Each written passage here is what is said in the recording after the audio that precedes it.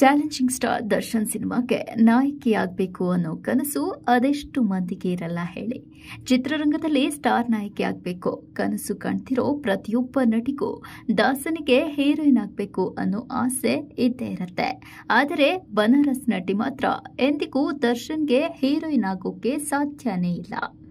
ಈ ಮಾತನ್ನು ಸ್ವತಃ ಬನಾರಸ್ ನಟಿ ಸೋನಲ್ ಮಂತೂರಿಗೆ ಚಾಲೆಂಜಿಂಗ್ ಸ್ಟಾರ್ ದರ್ಶನ್ ಖುದ್ದಾಗಿ ಹೇಳಿದ್ದಾರಂತೆ. ಸ್ಯಾಂಡಲ್ವುಡ್ನ ಉದಯೋನ್ಮುಖ ನಟಿ ಸೋನಲ್ ಮಂತೂರು ಈಗಾಗಲೇ ಹಲವು ಜನ ಮೆಚ್ಚಿದ ಸಿನಿಮಾಗಳಲ್ಲಿ ನಾಯಕಿಯಾಗಿ ನಟಿಸಿದ್ದಾರೆ. ದರ್ಶನ್ ಸಿನಿಮಾದಲ್ಲೂ ನಟಿಸಿದ್ದಾರೆ. ಆದರೆ ದಾಸನಿಗೆ ಹೀರೋಯಿನ್ ಆಗೋಕೆ ಮಾತ್ರ ಆಗಲ್ಲ. ದರ್ಶನ್ ಸಿನಿಮಾದಲ್ಲಿ ಹೀರೋಯಿನ್ ಆಗಬೇಕು ಅನ್ನೋ ಕನಸು ಬನಾರಸ್ ನಟಿ ಸೋನಲ್ಗೆ ತುಂಬಾನೇ ಇತ್ತು. ಚಾಲೆಂಜಿಂಗ್ ಸ್ಟಾರ್ ದರ್ಶನ್ ಅವರೇ ಆ ಆಸೆಯನ್ನ ತಿರಸ್ಕರಿಸಿದ್ದಾರೆ. ಹಾಗಂತ ಇಬ್ಬರ ನಡುವೆ ಏನೋ ವೈಮನಸ್ಸು ಇದೆ ಅಂತಲ್ಲ. ದರ್ಶನ್, ನನ್ನ ನೀನು ಹೀರೋಯಿನ್ ಆಗೋಕೆ ಸಾಧ್ಯನೇ ಇಲ್ಲ. ಅಂದಿದ್ದಕ್ಕೂ ಒಂದು ಬಲವಾದ ಕಾರಣವಿದೆಯಂತೆ. ಹಾಗಂತಿದ್ದಾರೆ ಸೋನಲ್ ಮಂತರು. ಅದೇನು ಅನ್ನೋದನ್ನ ದರ್ಶನ್ ಸರ್ ಅವರೇ ಹೇಳಿದ್ದಾರೆ.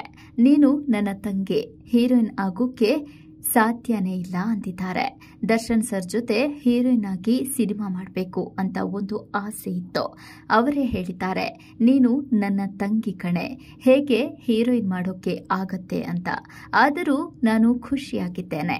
ಸಿನಿಮಾಗಿಂತ ನನ್ನನ್ನು ಒಪ್ಪಿಕೊಂಡಿದ್ದಾರಲ್ಲ, ಅದು ತುಂಬಾನೇ ಖುಷಿ ಕೊಡುತ್ತೆ. ಎಂದು ಸೋನಲ್ ಮಂತರು ದರ್ಶನ್ ಹೀರೋಯಿನ್ ಆಗೋಕೆ ಯಾಕೆ ಆಗಲ್ಲ ಅಂದಿದ್ರು ಅನ್ನೋದಕ್ಕೆ ಸ್ಪಷ್ಟನೆಯನ್ನ ನೀಡಿದ್ರು.